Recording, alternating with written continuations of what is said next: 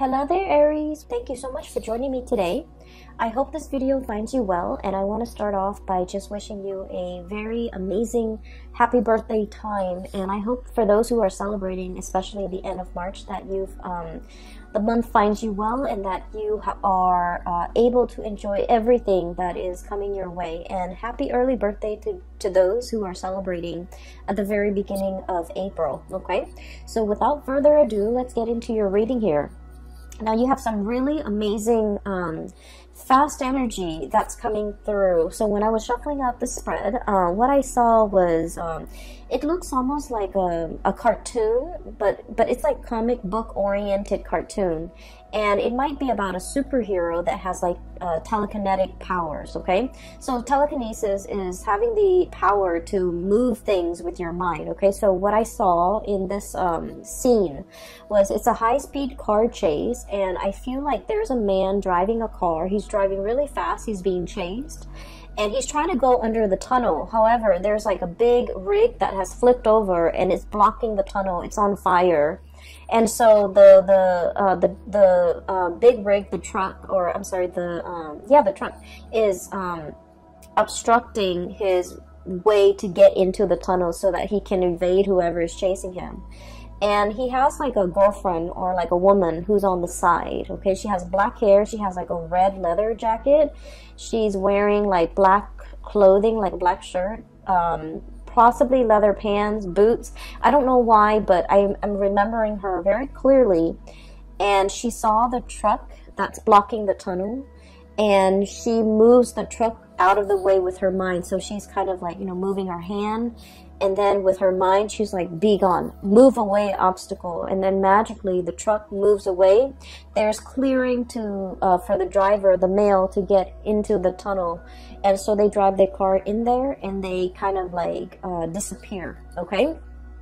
So it's a very exciting scene. So high speed car chase, they're able to get away. They're able to use some ESP uh, telekinesis in order to move obstacles out of their way, and they're willing it uh, whatever obstacle is in your way, you're moving it away with your mind. Okay, so I feel like a lot of it is, you know, uh, focusing on the positive power of manifestation, being able to manifest things into reality with your thoughts. So there is, um, once again, you know, I um, I don't know if I mentioned this for you guys, but our birthday time is a very lucky time for us. Okay, that's when the the basically the sun is making a major alignment to um, in the sky. So it's basically the sun is moving into the constellation of Aries, and especially uh, around your birthday time, it's called a solar return. Okay. And uh, during this time, if you want to start projects, if you want to manifest something, if you want to start something new, if you want to change the direction of your life, whatever it is that you're trying to do for yourself, and uh, I'm hoping that you're um, trying to create and manifest positive things in your life, whatever it is that you're hoping to achieve, the solar return will bring you a burst of good luck and a burst of energy to be able to help you uh, manifest these things. Okay, so if you're hoping to lose weight, if you're hoping to um, find more energy, more drive, more ambition to get yourself to the gym. If you're hoping to run that extra mile without feeling tired, fatigued, or uh, despondent, or even discouraged, um, the solar return time frame is a really good time for you to get these plans going in action.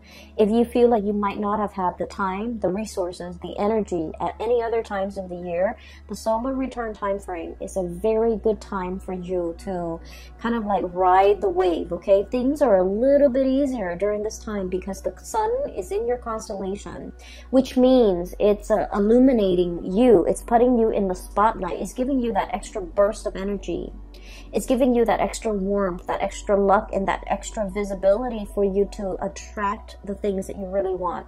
So, not only is it a time to celebrate our birthday and our birth and everything that it signifies, it's also a very, very lucky time. So use this energy wisely and especially, you know, try to manifest the things that you want, okay?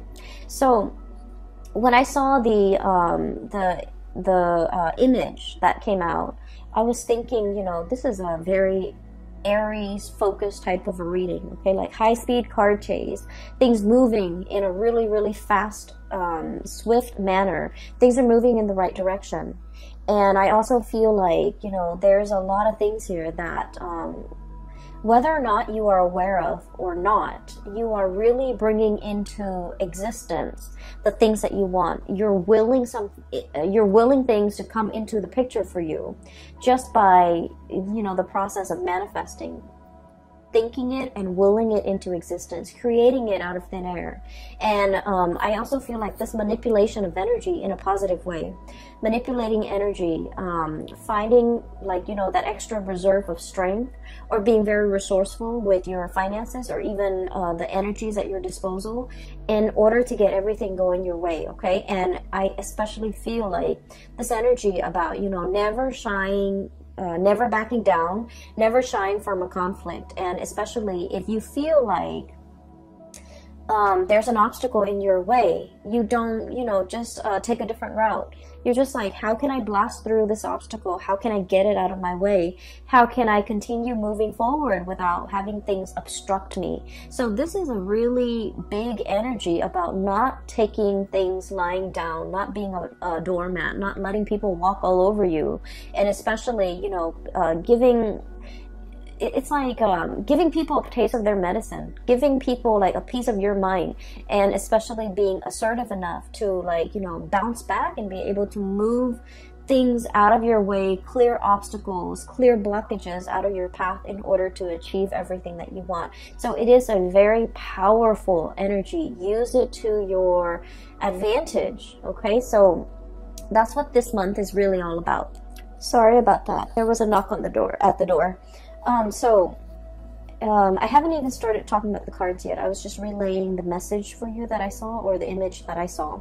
So let me talk about a few things here. Um, I feel like this reading, kind of similarly to the uh, Piscean reading, it's going to touch upon a few, uh, the past few years in your life. Okay, so I feel like it, it's, it's taking us through memory lane a little bit. And so if you're, you know, the impatient type, just bear with me um, what I'm feeling is there was a series of shuffling around, movement, moving around, trying to find your bearing, trying to find yourself, trying to find where you fit in, trying to find what's a good environment for you, a good city for you to live in, a good place for you to work in, a good good group of friends for you to be with, uh, a good career path for you. I feel like you were going through this um, this journey of self discovery, and I feel like at the time that it was happening, it could have been the past uh, four years, okay? At the time that it was happening, you didn't realize that it was a journey of self discovery. I feel like you felt like things were just happening to you. You felt like you were making decisions and they kind of snowball out of control, and then you know one path leads to another, and so on and so forth. And um, little did you know that you know you were the the the ones that set these uh, series of things, events in motion and I feel like there was a uh, a very nomadic uh, lifestyle, you know, a, a, very transient, transplanted type of an energy that you were dealing with for the past uh, four months. You might have like you know shifted around. Okay, there was a lot of movement I'm seeing in the past. We have here the six of um, the six of swords. This is about you know, look at the the little tower in the background. Okay, like a burnt home, a place of um, that we thought was a place of refuge. All of a sudden, it went up in flames so some of you might have been displaced from your homes. Some of you might have left a home and you're just like, I, I'm not happy there. I am not enjoying the city. I'm not enjoying that place in particular. I'm getting out of Dodge, okay? And then others of you, I feel like, you know, you were uh, actively seeking new adventures, new opportunities. You were realizing that something was not very stable and so you moved on to a safer place and to a safer passage. And so many of you have consciously, you know, made these decisions, okay? This didn't work out. And so I'm going to move on to the next thing. And if that doesn't work out, I'll move on to the next thing. So I feel like it wasn't, you know, like, uh, there wasn't a lot of planning involved. It was kind of like process of elimination. Let me try this. If it doesn't work out, let me try the next thing. If that doesn't work out, then at least I would be able to rule out these things. And so you were trying to figure out where you fit in. You were trying to figure out what is best for you. But you didn't have a roadmap. you didn't have like um, you you didn't rely on the things that you already know. I feel like you were kind of fumbling around in the dark, trying to feel things out, trying to figure out uh, whether or not it would work, or whether or not it would be tolerable, or whether or not you could make it work. And so I do feel like you came into, you know, this whole discovery phase with a lot of uh, optimism and also with a lot of like um, that that that optimistic playful energy you know what's the worst thing that could happen right like if it doesn't work then i'll move on and so there was a lot of location uh, geographical location changes there was a lot of movement there was a lot of like um, here today, gone tomorrow. Let me stay in this apartment for a short period of time with a short lease, and then I'll move to the next place. Let me stay in this city for a short period of time, and then try to figure out what works for me. And I feel like in the process of eliminating what did not work for you, I feel that it allows you to see what it is that you really crave, what it is that you really want. And so, moving into the present moment, you have found it I have here, this is the Four of Wands, and the Four of Wands, look at this frog. This is about stability. This is a, a, home life, an environment that we can really feel safe in. We can feel secure. We can feel stable. And we can feel like, you know what? This is where I'm going to hang my hats and hang my coats and unpack my clothes and stay for a while, kick up my feet and feel at ease and feel at home. So I feel like many of you have finally found this refuge, found this haven, and it came about through that process of elimination. You have to eliminate things that did not work, that you did not want, in order for you to finally be at peace and, and, and you know, be sure and certain that this is working. This is what I really want now. And so it took a really long time to get there. For many of you, it might have been the past four years. So the past four years would have been like, you know, since 2018 that you were kind of fumbling around, changing location every few months and changing your mind, changing your thoughts. And it's a process of self discovery. It's like, you know, uh, discovering what the Aries person really want. Like you're discovering yourself. Like, what do I really want? This doesn't work and I'm leaving that behind. But what actually worked for me, and I feel like you were going about it in a different way. Um, you were knocking out the options that were no longer feasible, no longer desirable for you. And as a result, you are finding out what really works for you. So we're in a really good space right now. Um, we have here the Queen of Pentacles, and this is like the queen of the home and the hearth, and this is somebody who's very happy and content and financially stable. Okay, so news on the financial front, I feel like you guys are making good money. Um, a, a, steady stream of income is coming in.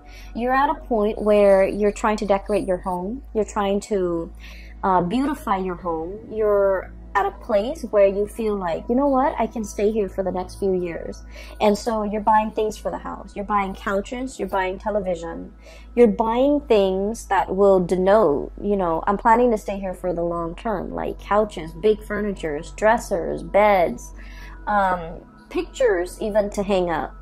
You know, like you're making your space a lot more comfortable because you understand that after everything I've been through, I know that this is where I want to stay for a while. I know that this is the place where I want to rest for a while. So I feel like there's a lot of mental clarity coming into the picture for you regarding what it is that you want.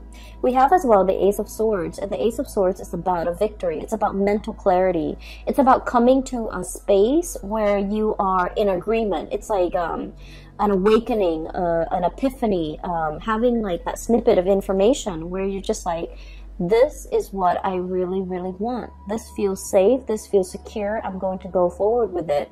For some of you, there might have been some big financial gains, okay, like a financial win. And I, I would say like winning the, the jackpot, winning something, winning a sum of money, uh, coming into a space where you are potentially winning a client over, uh, winning a portfolio, landing a portfolio, or doing something where you feel like is challenging enough. It um, brings me a lot of financial abundance, and you so you're in a space where you feel like I'm happy where I am. I'm happy with my work. I'm happy that I'm able to um, do work that is meaningful, that is fulfilling, that is challenging, and I'm really, really happy. So I feel that coming into the month of March, things are just kind of like they're a-okay for you guys okay and i feel many of you are jumping into the month of march uh, recovering uh, feeling really good feeling very healthy um, planning to I'm sensing beautify your home, planning to invite other people into your space, and so you're making it more comfortable. And I feel like after, you know, the turbulent past four years that you have had to contend with, you're finally at ease and you're finally like okay and comfortable with uh, staying in one place and no longer bouncing around. Okay. Not that the spirit of adventure has left you. It's just for now, you're like, I'm, I'm okay with staying here. I'm not impatient anymore. I'm uh, I feel like the domesticity, like I'm okay with being domesticated. That's what it feels like to me. I'm okay with being uh, at home. I'm okay with entertaining guests at home. I no longer need to go out and about. I no longer need to be surrounded by like hundreds of people in order to feel happy. I'm okay with where I am. Okay. Um, for others of you, I feel like for um, you are waiting on some type of a financial windfall. Okay, we have here the hangman, and the hangman is a state of suspension. It's like waiting for something, waiting for information, waiting for news, waiting for contact, waiting for a situation to make itself clear. So waiting for some things to clear up, and it's linked up as well with the high priestess. And the high priestess is like when your intuition is telling you a certain thing and you're you're you're trying to find evidence of what your intuition is telling you in the real world and aries as the uh, first sign of the zodiac and also as a fire sign a lot of the times too i feel like you don't put much stock in your intuition. Um, you have an inkling. We, we all have you know our intuition. We have intuition.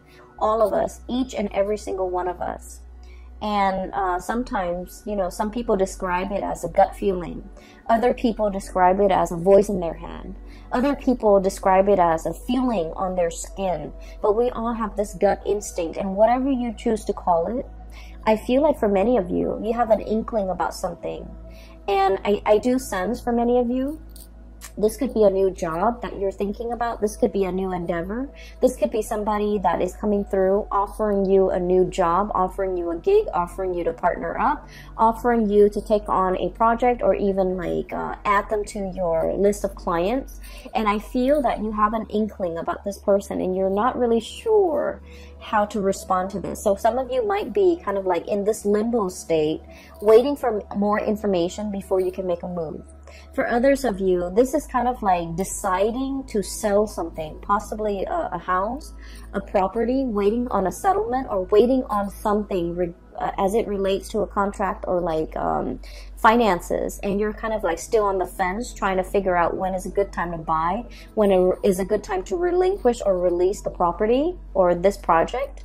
And so I feel as if you're going to be getting some type of a closure for this month. There's some truth and some clarity coming into the picture. And I feel like once this uh, clarity, this news, this communication, this information comes to light, that's when things are going to get rolling for you. Okay. So I do feel like there will be some clearing up of the energy, clearing up of blockages, being able to figure out in your mind's eye to will something into existence, to remove blockages for yourself so that there is a clear path ahead of you so that you can, you know, drive that car into that tunnel. Okay.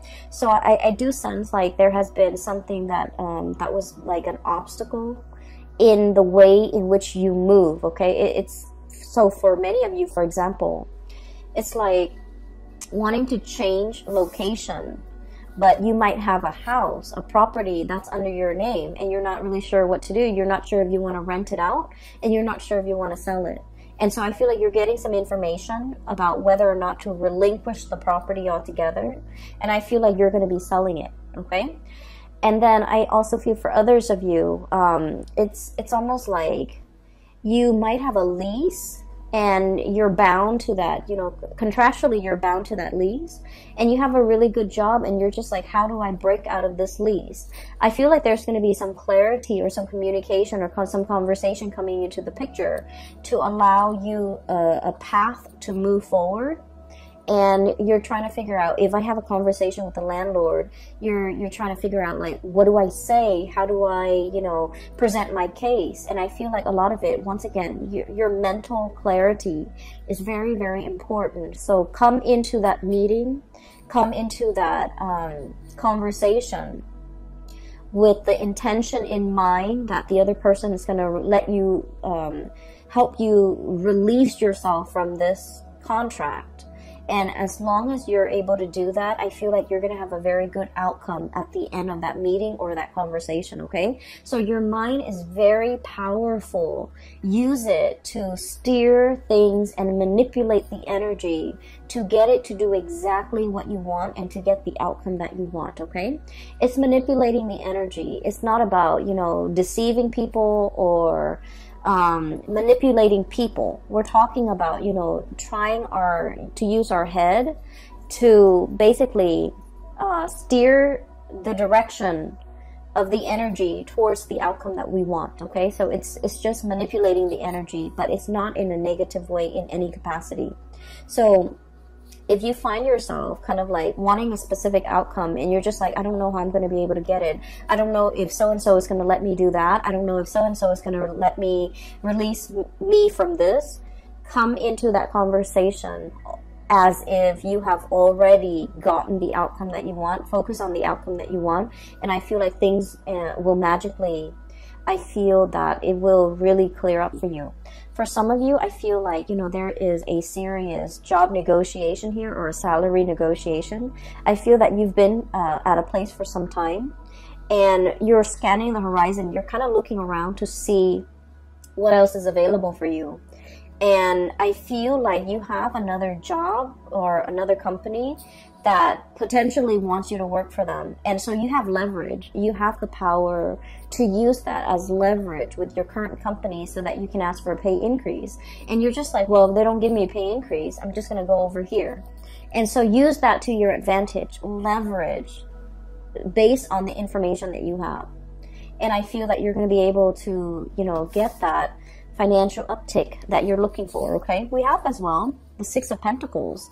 And the Six of Pentacles usually indicates to me a huge financial windfall. It is also a card about really good karma coming back home to roost. So whatever good deeds you have done for other people, whatever good things you have done, um, you know, in your own life, in your own environment.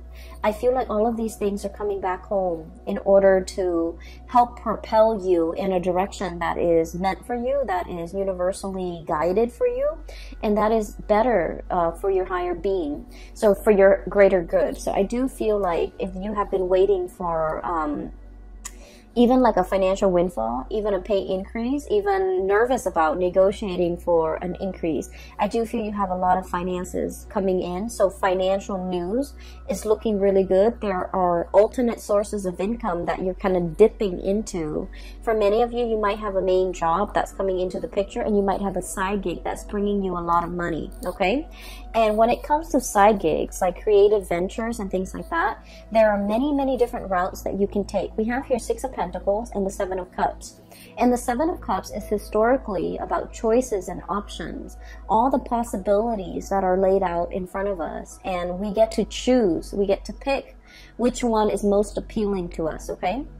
So in this depiction, it doesn't seem to me like anything is fatalistic. I feel like you have your eyes wide open and then I also feel like, you know, through this turbulent past four years, you know what works for you and you know what doesn't. You know yourself well enough to know which options would be more viable and which option would be the most stable for you. So you're not looking at this in a, um, it's like through, you know, rose colored glasses. You're looking at this through a very, very um, optimistic lens. And I feel for many of you, there are so many options that you can choose from.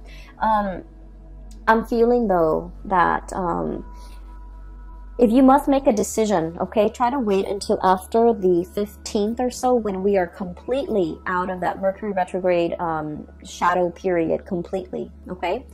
And so by that time, I feel like mid month, something is going to come into the picture to give you a lot more insight and to give you the full picture so wait for the Mercury retrograde period. The Mercury retrograde period, um, it started on February 18th, and I believe it's only for three months. So I believe it would would have been out by March 11th. but um, there is a shadow period when the planet is still, you know, um, heavily affecting. So even if we're out of the retrograde period, there's a there's like a lull before the planet can be up and running again. So I feel like it would be best for you to wait until the 15th. It's a good time during Mercury retrograde to really mull over things because we have a lot of insights.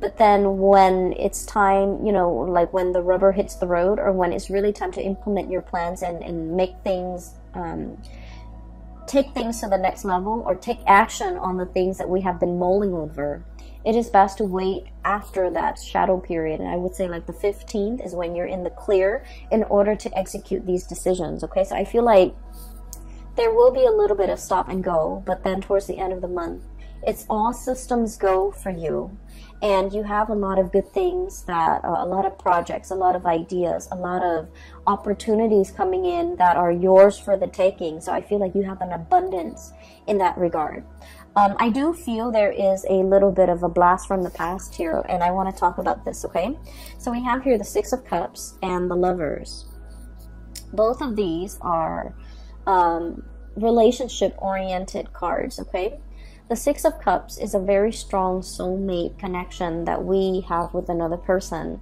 This usually denotes somebody that you have known for a very long time.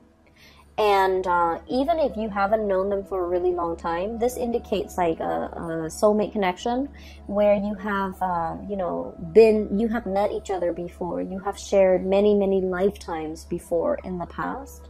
And so in this lifetime, when you meet them, their energy feels very familiar. Their their their the way they look, the way they act, everything about them just makes you feel very comfortable and very familiar. And it makes you feel at ease. It's like you really know this person. You know this person inside and out. You know what their limits are. You know what their capabilities are. And you know what they're capable of. And you know what type of a person they are. And so I feel like there's somebody in your life that is making a return in your life. And you know this person you've been longing for this person you possibly have been missing this person for quite some time. I feel like for some of you you might already be in a relationship when this person comes back in and there is a choice a, a decision that you have to make here.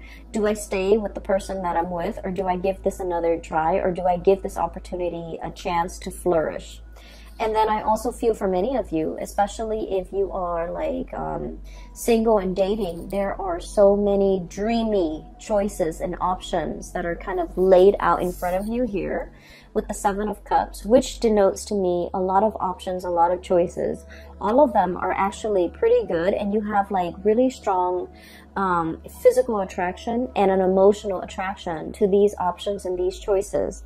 And then I also feel um, there is a potential here to really meet somebody that will, you know, um, dot all the I's and check all the T's and, and, you know, meet all the requirement in your checklist. Okay. Um, I feel like you have a fated meeting here. It's um really strong soulmate connection here that you have with another person. So, for example, if you have been, you know, living with a person and you're just like, we're going to get married and then for whatever reason it didn't happen and you moved away from it and now you're feeling a little bit jaded I do sense that you're going to meet somebody that will give you the whole nine yards, that will want to settle down, will want to get married, and they'll want to restore your faith in love and commitment. Okay? If you have been kind of like burned and jaded and you're just like, I'm focusing on myself, I'm going to work and take care of myself, I'm going to buy myself the nice things, I don't need another person to take care of me and you've kind of been in this space where you're blocking your heart. Okay, the high priestess is very loving, but she's very detached and she can be a little bit cold.